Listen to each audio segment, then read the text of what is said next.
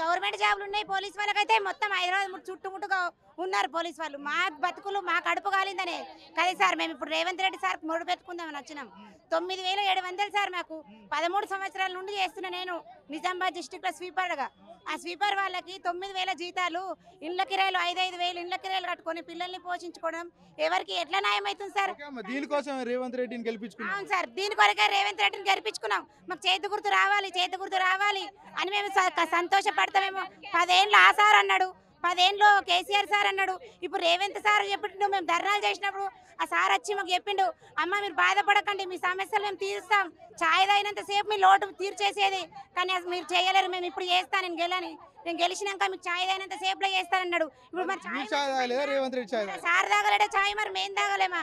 తప్పకుండా సార్ దయచేసి మమ్మల్ని ఈ తొమ్మిది వేల జీతాల నుంచి తొలగించమని ధన్యవాదాలు చేసి కోరుకుంటున్నాం సార్. మేము ఇంత బాధలో ఉన్నా కిరాయిన్లలో ఉన్నాం సార్. మేము ఎంత కష్టాలలో ఉన్నాం సార్ మమ్మల్ని గెలిపించాలని దయచేసి ఆ సార్ని జీతాలు పెంచుతాడో ఏం చేస్తాడో అని కోరుకుంటున్నాం సార్ మేము. పర్మనెంట్ చేయలే సార్. పదమూడు సంవత్సరాల నుంచి చేస్తున్నాం సార్ మేము ఇక్కడ. నిజామాబాద్ డిస్టిక్ సార్ మాది. మేము ఇప్పటి నుంచి కాదు. జీతం తొమ్మిది వేలు సార్. తొమ్మిది వేల ఏడు వందల జీతం పదమూడు సంవత్సరాల నుంచి చేస్తున్నాం. స్కావెంజర్కైనా వంట వాళ్ళు నాలుగు వందల పిల్లల్ని ఇచ్చింది సార్ మాకు. వంద మంది పిల్లలకని చెప్పి నాలుగు వందల పిల్లల్ని ఇచ్చారు సార్ ఇప్పుడు.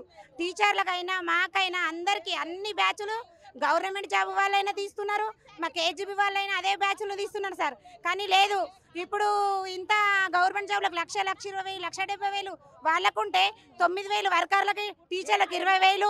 ఇన్ని జీతాల నుంచి చేసినాం. రెండు వేల రెండు వందల కడికలు చేసినాం సార్ జీతాలు.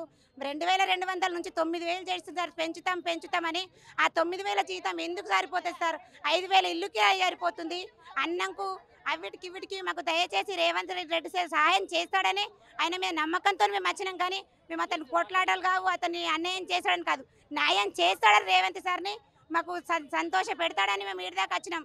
అందుకే గెలిపించాం. మా ఆడవాళ్ళం అందరం కేజీబీ వాళ్ళందరం రేవంత్ రెడ్డి సార్ గెలిస్తే మాకు ఖచ్చితంగా వస్తాయని మేము సంతోషంగా గెలిపించుకున్నాం సార్. కానీ సార్ కూడా ఇట్లా చేస్తే మేము ఏ సార్ని గెలిపేయడానికి కూడా ముందడికి రాం సార్. సంతోషంగా చెప్తున్నాం. మాకు తొమ్మిది వేల జీతాలు వస్తున్నాయి సార్. తొమ్మిది వేలు ఐదు కి- ఇల్లు ఇండ్ల కిరాయిలు ఐదు వేలు. తిండికి పిల్లల్ని ఏం పెట్టుకొని బతికిస్తున్నాం సార్ మేము? మేము చాలా కష్టపడుతున్నాం. మా కష్టాల్ని సార్ గుర్తుపెట్టుకుంటాడని మేము సంతోషంగా తెలియజేసుకుంటున్నాం సార్.